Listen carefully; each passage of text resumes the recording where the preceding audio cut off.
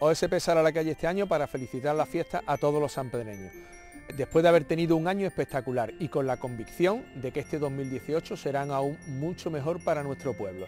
Así que entre todos los compañeros, desearos ¡Felices fiestas!